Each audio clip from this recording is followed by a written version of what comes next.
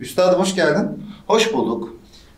İş güvenliği uzmanı Atlay Arkan'la birlikteyiz değil mi? Doğru. Ayrıca anestezi teknikeri ve ziraat mühendisi. Ha, tabii daha önce geçmişimiz birazcık daha hani okumaya böyle hırslı olduğumuz için bir anestezi, bir ziraat, arkasından iş sağlığı ve güvenliği uzmanlığı, arkasından da eğitmenlik birimlerinde daha da ilerlemek tabii ki ödevimiz olmuştu. Her şeyden önce Elazığ'da meydana gelen depremde e, mağdur olan tüm vatandaşlarımıza hem geçmiş olsun, kayıpları varsa onlara da başsağlığı diliyorum.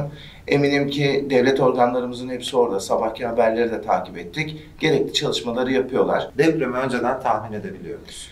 Şimdi şu an deprem olabileceğini biliyor muyuz? Bilmiyoruz. Türkiye deprem bölgesi. Bu konuda hiç şüphemiz yok. Sürekli olarak yorumlar, istatistiklerin getirdiği öngörüler var. Ama bizim birinci ödevimiz tabii ki deprem önceden tahmin edilebilir mi, edilemez mi? Hayır edilemez abi. Peki tahmin edemiyorsak önceden e, önlemimizi nasıl alacağız bu konuyla? Gelelim oraya. Şimdi iş sağlığı ve güvenliği zaten proaktif diye bir kelimeyle başlıyor. Bilimsel mi? Evet, bilimsel bir kelimeyle başladık. Proaktif demek önceden kestirebildiğim her şeye önlem almak anlamına geliyor. Ben depremin o bölgesindeyim diye bağırıp duruyoruz değil mi? Deprem bölgesi, deprem bölgesi. Tamam o zaman. O zaman ben deprem olacakmış gibi her an hazır olmam lazım. Öncelikli olarak yapılardan başlamak lazım. Bir de insanlardan. Yapılardan başlarsak reisimizin dediği gibi abi. Yani hep yatay hep yatay. Biz hep dikey hep dikey gördük. Şimdi eğer yatay yapılaşmaya doğru yöneleceksek ciddi köklü değişiklikler lazım. Bu saatten sonra biraz zor sanki. O yüzden Çevre Şehircilik Bakanlığı da bununla ilgili organizasyonları bundan sonrası için yapmakla ödevli. Yapı denetim daha sağlam binalarla yapmakla ödevli. Dönelim insan kısmına. İnsan eğitilmekle mükellefiz. Biz eğiticiyiz. Biz daima bilgiyi kişilere yaymakla mükellefiz. Ne yapıyoruz? Depremle ilgili, acil durumlarla ilgili eğitimler veriyoruz. Ne kadar büyük bir depremle karşı karşıya olduğunu hiçbir zaman bilemeyeceksin bir. O zaman birdir bir en kötüsüyle başlarsak ya zaten yoksun. Erkenden maalesef seni gömdüler.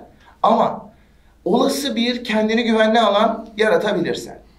Evimde miyim arkadaş? Oradan başlayalım. Evimdeysem eğer binamın en sağlam ana kolonlarını bir gözüme kestireceğim bir kere. Binanın, evimin girişi, hemen yakındaki kült cisimler. Bunlar benim için kıymetli yaşam üçgeni oluşturacak yerler. Bunları gözüme kestireceğim. Aa deprem çantası vardı onu unutmayalım ya. Herkese çatır çatır sattılar. İçinde ne olduğu da meçhul.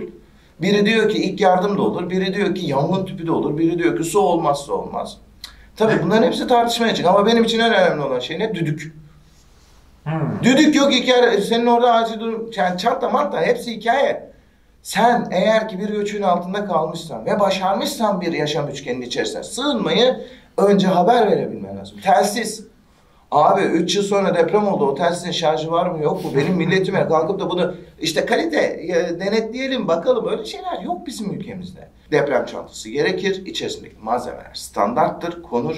Ama düdüğü görünebilir bir yere koyacaksın. Hani o e, geçmişinden gelen kültürün e, sergilediğin bir babanın annenin resmi varsa onun üstüne o düdüğü de koy. Kapı girişlerine geldiğimiz zaman evin dağıtılmış olan bölgesindeki kapı girişleri ise çok sağlıklı gene olmayacak. Ama kült cisimler benim, benim için önemli. Yani sağlam bir dolap, sağlam bir masa benim için önemli. Yoksa yani hani o İsveç yapımı olan çıtalardan oluşmuş cam tavan olan bir tane masadan bahsetmiyoruz şüphesiz ki. Çok para verdiğin masa seni koruyacak anlamına gelmeyecek hiçbir zaman. Mesela soruyorlar deprem çantasını nereye koyalım hocam? Bayılıyorum bu soruya. Kapının önüne koysan yok. Oraya koysan yok. Abi sen eve girdiğin zaman en çok nerede duruyorsun? Yatak odası, televizyonun karşısı. Bu ikisine yakın yere koy ki ulaşabilesin. Elinin altında olsun hemen kapıp düdüğünü öttür. Şimdi geçenlerde bir şey duydum. İşte efendim ee, Japonlar, Çinliler yukarıya doğru kaçıyorlarmış. Onlar Japonya'da oluyor. Japonya'daki depremin tipi farklı, benimki farklı. Aynı şey değil. Nasıl bir fark var? Nasıl bir fark var? Bir kere adamlar zaten yanardağın üstüne oturuyorlar.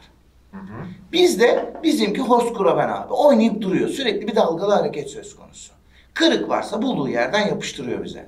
Ama onlar sürekli zıplıyorlar. Çünkü her yanardağ hareketlendiği zaman deprem diyorlar bunun adına. Hı. Eğer ciddi bir patlama varsa zaten onlarda da yıkıcı etkiye dönüşmüş oluyor. O kadar küçük ada nasıl oluştu? Biz kocaman bir adayız. Yani bizimki daha çok bir dalgalı hareket şeklinde oluyor. Deprem farkımız bu ama Japonların deprem konusunda çok iyi olduğunu biliyoruz. Hem Mecbur. toplumsal bilinç hem teknoloji anlamında? Neden bu kadar büyük fark var aramızda? Çünkü bizde ne var? Bizde fal bakıyoruz biz. Deprem olacak mı? Bu yıl deprem olur mu? Yer küre sıkıştı mı, genişledi mi? Biz sürekli bir öngörüde bulunmaya çalışıyoruz. Birimiz falına bakıyoruz hikayenin. Ama onlar da öyle değil. Onlar yanardağın sürekli olarak sismografik hareketlerinden patlayacağı zamanı daha iyi tespit edebiliyorlar. Bizde öyle bir şey yok ki. O yüzden onların sürekli hazır olma durumları var. Yapılarına bakıyorsun. İşte raylı sistem, e, helazon sistemleri vesaire. Binalarını bile bize göre çok daha iyi yapıyorlar. Biz de yapmalı mıyız? Çok param varsa yap abi. Siz fala inanmıyor musunuz? Ben hayatta falsız kalmam. Ama şöyle bir şey var. Falsız kalmadığım gibi bilimsel bir kaynağı yoksa da çok da inanmam. Karşılığında bir bilimsel bir şey olması lazım. yani. Peki bir şey soracağım. Şimdi bir saat önce yaklaşık bir Japon tweet atmış. İşte Elazığ ile Manisa'da 6 ya da 7 şiddetinde deprem bekleniyor. Kaçın diye. Tamam. İstanbul'da iki saat sonra deprem olacak kaçın. Abi böyle bir mantık var mı ya? Zaten olma ihtimali olan bir bölgeden bahsediyoruz. İlk sismografi küçük hareketler oldu. Gerisi gelecek mi gelmeyecek mi? Gelebilir, gelmeyebilir. Ya olursa Önceden önlem aldın mı? almışlardır herhalde. İşte olay burada aslına bakarsanız arkadaşlar. Yani her zaman olacakmış gibi davran ama yıllar boyunca yaşayacakmış gibi eyle. Deprem öldürmez bina öldürür işte. Deprem öldürmez, bilinçsizlik öldürür. Öyle miymiş kelime? Evet, deprem Olur. değil, bilinçsizlik öldürür. Cehalet öldür.